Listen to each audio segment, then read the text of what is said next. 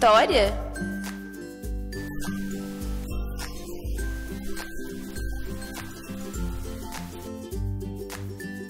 Acho história completamente desnecessário.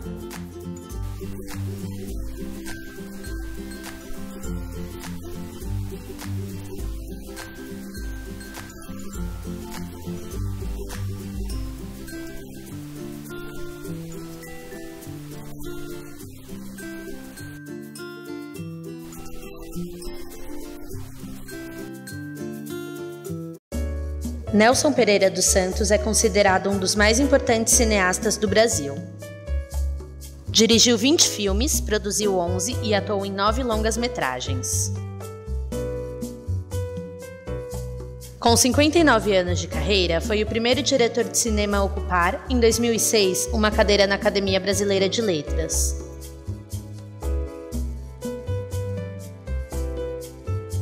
Criado no bairro do Bexiga e incentivado pelos pais, frequentava cineclubes do bairro da Liberdade e o incendiado Cine Teatro Colombo. Em 1949, foi a Paris estudar cinema e teve seu primeiro contato com o neorrealismo. Mas quando chegou lá, descobriu que não tinha matrícula fechada e teve que voltar para o Brasil.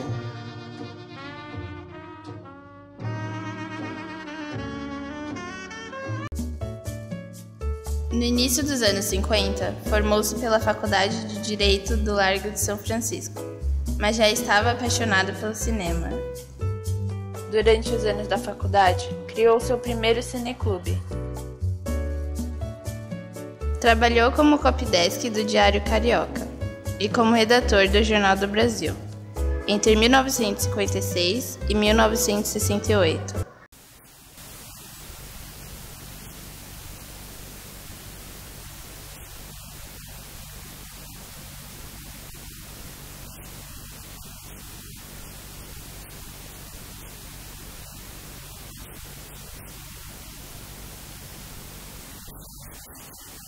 ハハハハ!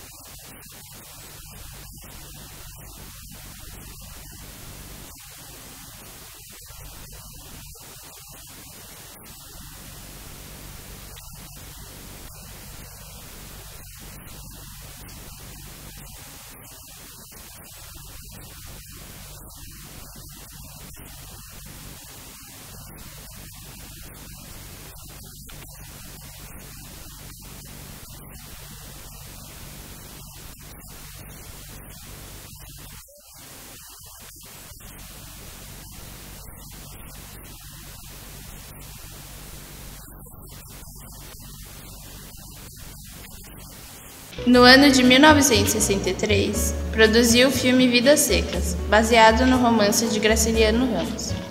O longa conta a história de uma família atravessando o sertão, procurando vencer a seca.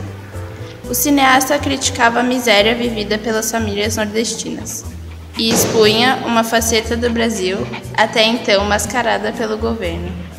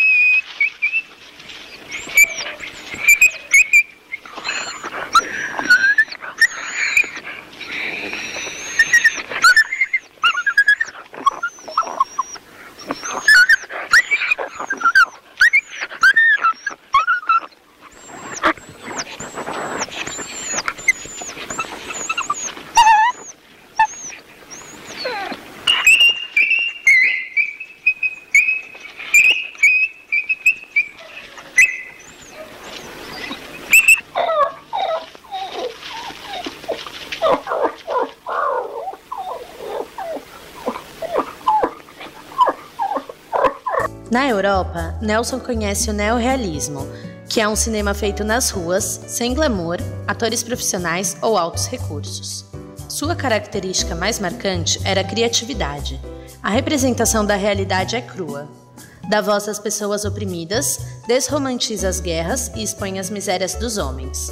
Inspirou, pelo mundo, movimentos de cinema, inclusive no Brasil, o Cinema Novo. O cinema novo surgiu nos anos 60 e é completamente baseado no neorrealismo.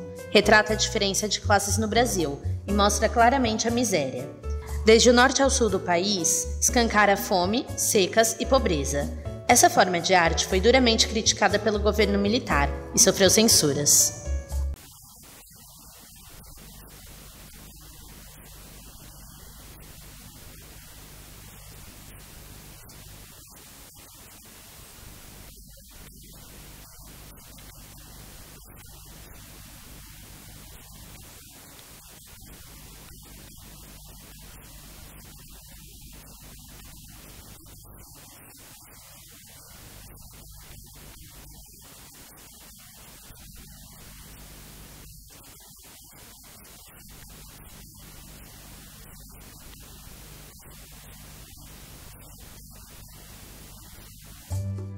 Em 1965, um ano depois do golpe militar, participou do corpo docente inaugural do primeiro curso de cinema do Brasil, na Universidade de Brasília. Além de críticas sociais, suas produções são marcadas pelas adaptações de clássicos literários brasileiros. Atualmente, produz, junto com a Globo Filmes, uma obra sobre Dom Pedro II. O filme será uma adaptação do livro de José Murilo de Carvalho, e não tem previsão de estreia.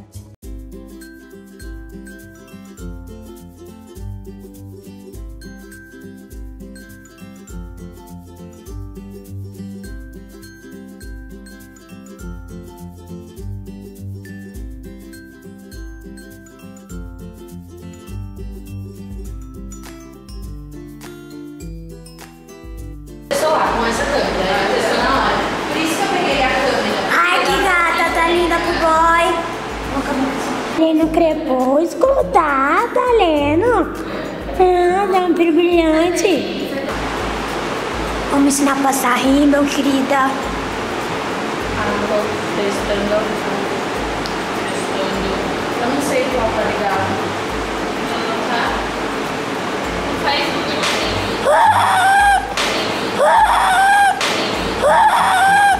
Oh my god. Alô? Alô, alô, testando. Um, dois, testando.